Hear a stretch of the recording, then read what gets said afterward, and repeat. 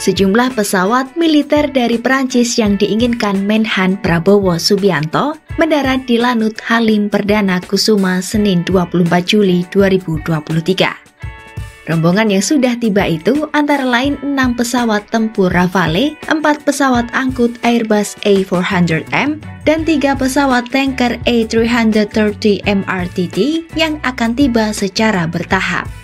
Namun, pesawat-pesawat yang tiba di Indonesia itu bukan pesanan Prabowo, melainkan pesawat untuk latihan bersama TNI AU dalam misi Pigas 2023 selama satu pekan dari 24 Juli sampai 1 Agustus 2023.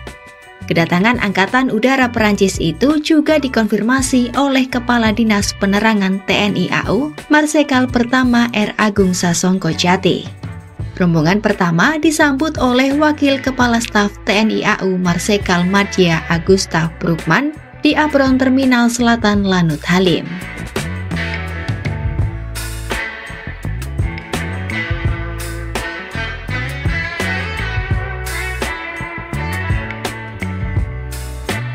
Selama sepekan di Indonesia, Angkatan Udara Prancis akan melaksanakan sejumlah kegiatan bersama dengan TNI AU seperti kelanjutan persinggahan misi Jandar 23, latihan Garda Guerrier, dan pemberdayaan industri aeronautika pertahanan Perancis.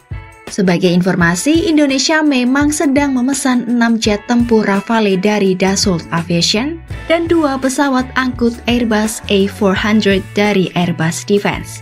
Namun pesanan Indonesia itu diprediksi akan tiba di Indonesia pada akhir 2026 mendatang.